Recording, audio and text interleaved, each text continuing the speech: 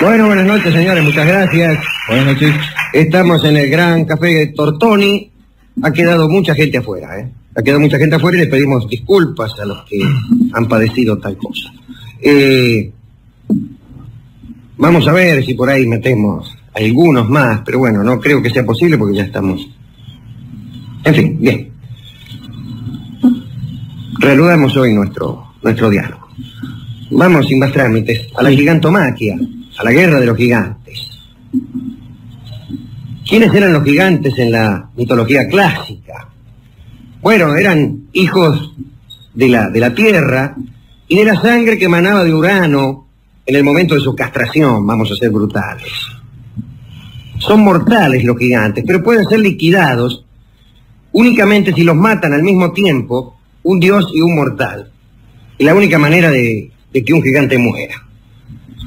Bueno, y los gigantes andaban con toda la bronca porque Zeus había mandado a sus hermanos los titanes al tártaro y dice, che, dice, ¿qué les parece si hacemos un ataque al cielo? Dicen los gigantes, somos tan poderosos, vamos a hacer un ataque al cielo. No está mal como idea. Eran altos, dice, bueno, bueno sería que fueran petizos. Un gigante enano es una paradoja. petizos.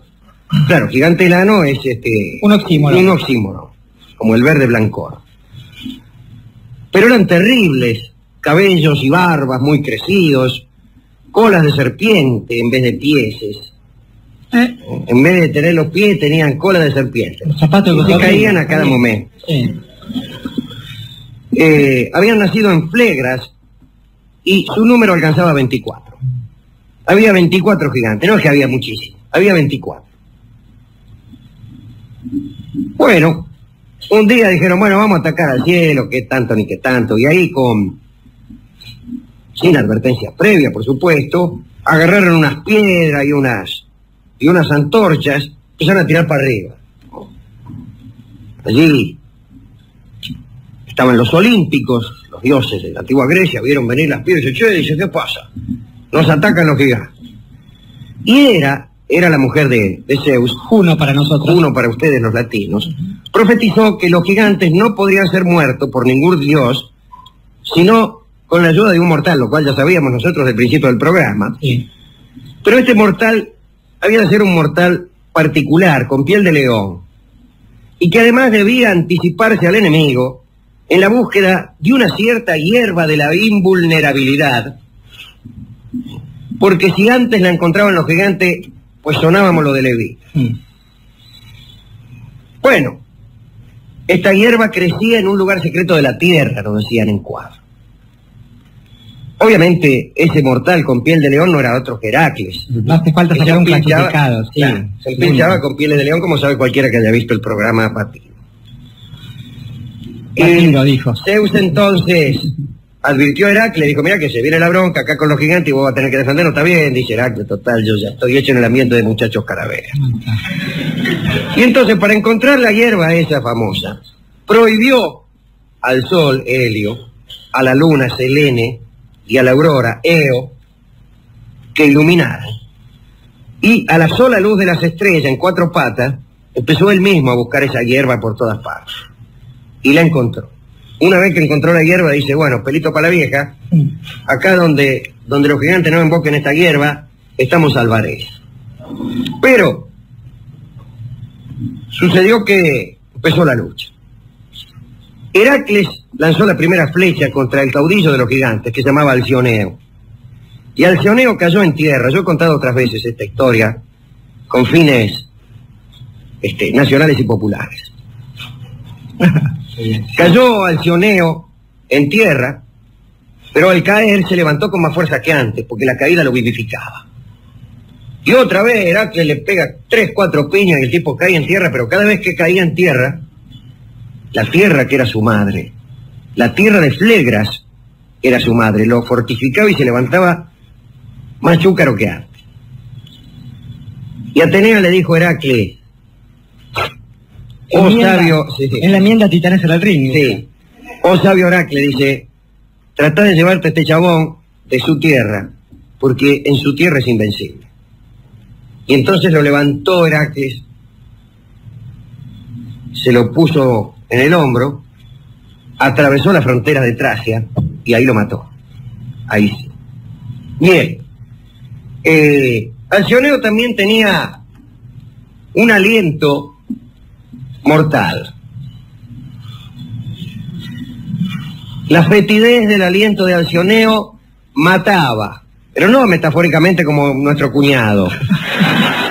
Mataba, mataba, te tiraba el aliento lleva, ah, te hacía y caía redondo. Y una de las propiedades de esta hierba que encontró Zeus buscando en cuatro patas a la luz de las estrellas era, pues, servir de antídoto contra el aliento de Alcioneo. Era una especie de listerine a Van Lagar. Eh, Debía decir Belden para que la gente se riera. Sí. un poco. bueno, siguió la bronca. Detalles de aquella bronca. Porfirión, otro de los gigantes, ¿no? Saltó al cielo. Y ahí fue el primero que llegó al cielo. Ahí los dioses tambalearon. Solamente Atenea mantenía la presencia de ánimo. Los otros estaban, iba a decir algo terrible. Sí. Asustado, digamos. asustados. Estaban todos asustados. Y no de risa. Sí. Asustado hasta las Eh, patas. Sí. ¿Eh? Sí, incluso los gigantes que estaban, se asustaron, se asustaron. Bien. Y Porfirión, mire qué linda historia. Porfirión se arroja contra Hera, la mujer de, de Zeus. Y la empieza a estrangular. Y aparece quién era, Cupido. Y le tira un flechazo. Pero que le pegan el hígado a Porfirión. Pero, ¿cuál es el efecto de los flechazos de Cupido? Te enamoran, loco. Sí. Y entonces Porfirión, que la estaba por estrangular a Hera, sintió trocar su ira en lujuria y dice, me parece que no te voy a estrangular. No ahora. Sí. Y empezó a hacer otra cosa. No demasiado diferente, por otra parte. No por lo menos en lo que al Porfirión se refiere. Claro. Porque para Porfirión la cola era pecho y el espinazo cadera. Y ahí sí, Zeus, el marido, dice, momento, que la estrangules es una cosa. Ahorcar vaya y pase, claro.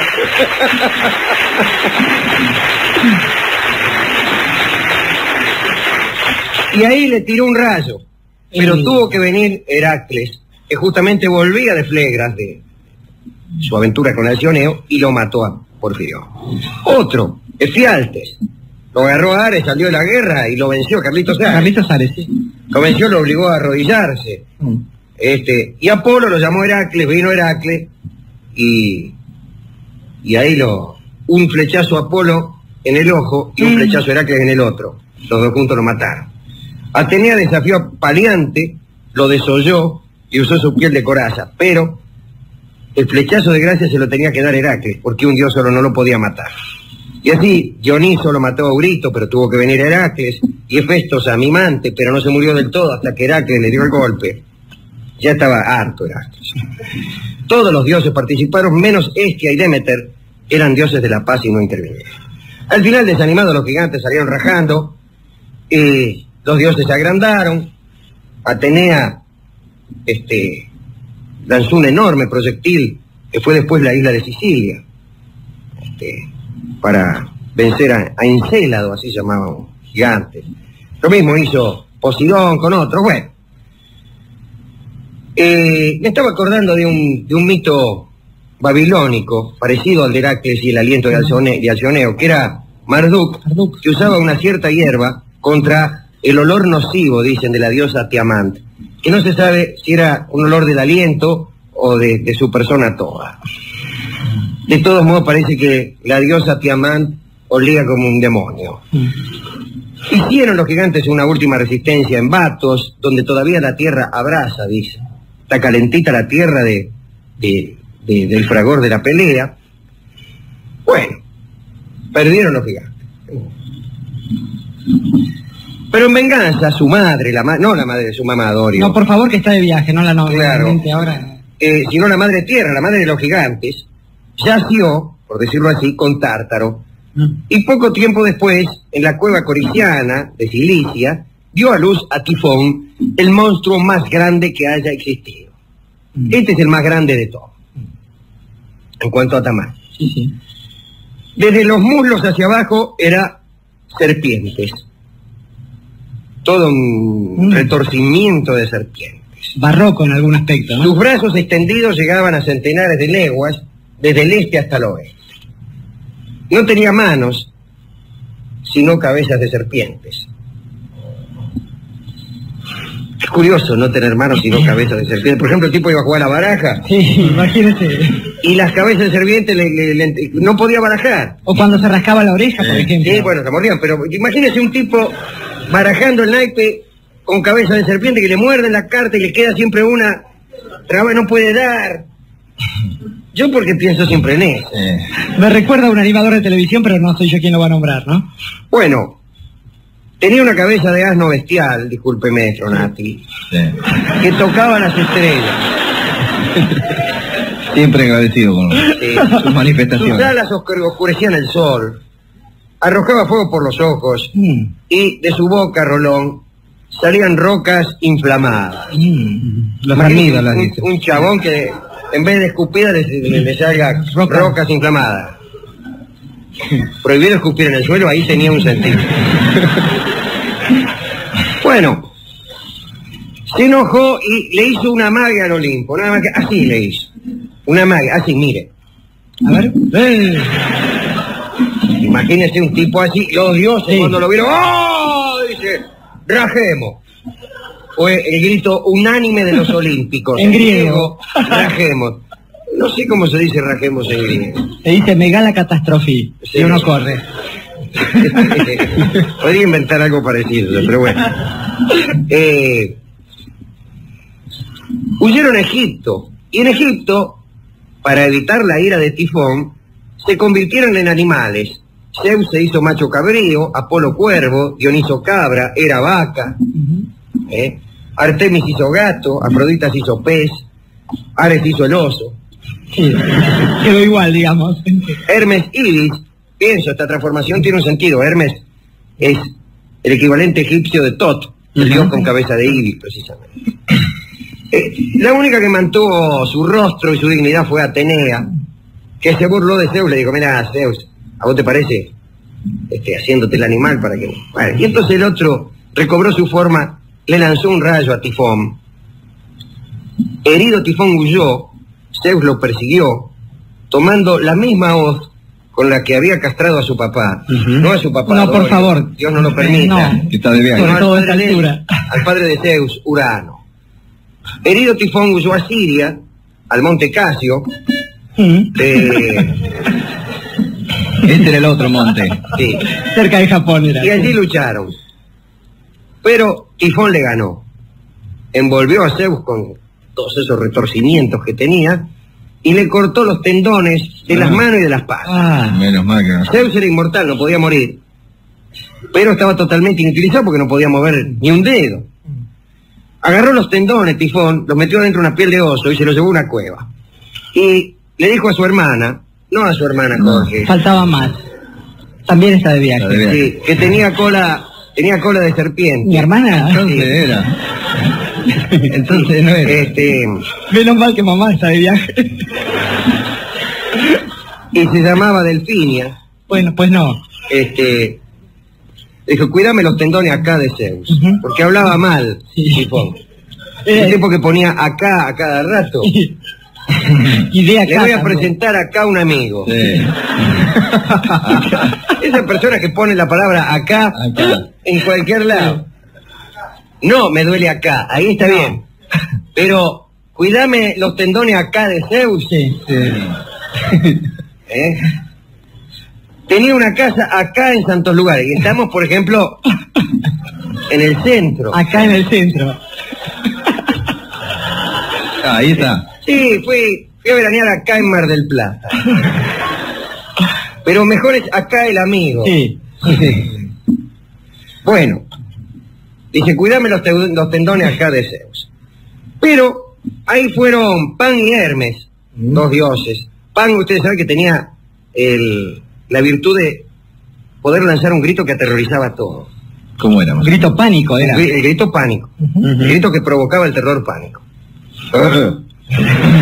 ¿Cómo? A mí no me sale. Yo no me asusto. es decirlo, claro. Provecho, le decía. No, ¿sabe qué pasa? No lo quiero hacer. Porque se asusta la gente. Me asusta la gente.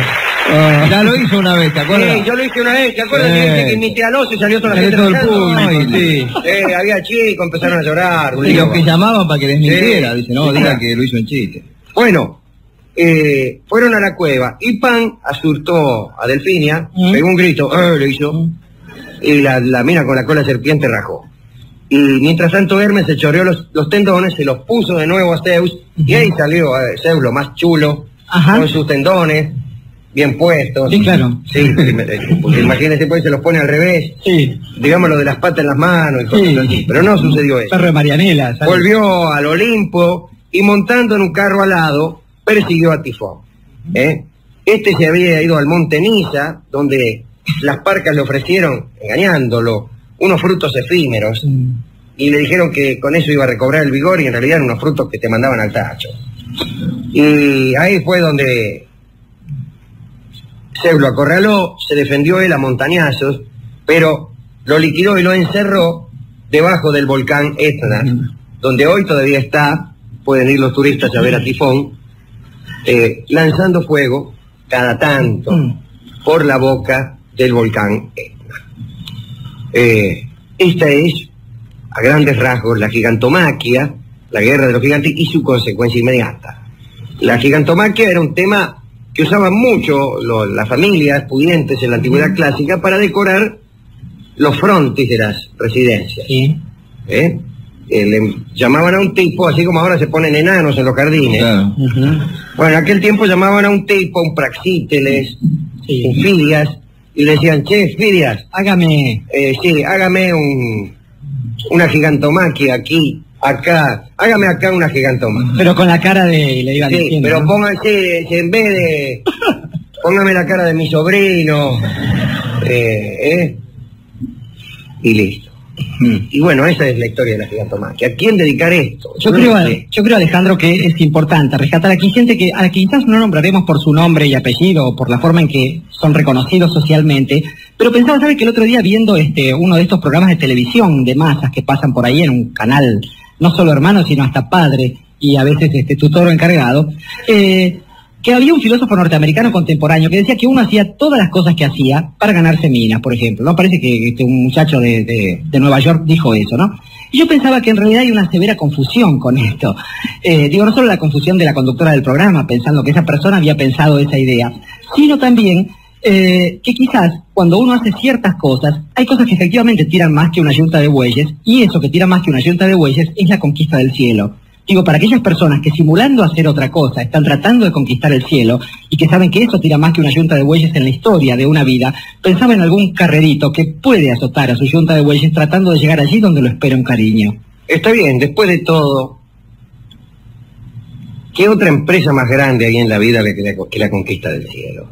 Para este carrerito que azota su yunta de bueyes, para ver si ese, si esa chata celeste con dos iniciales pintadas a mano lo lleva precisamente a regiones que también son celestes, vamos a escuchar Mano Blanca. ¿Habrá bueyes ruanos, Alejandro? Debe haber.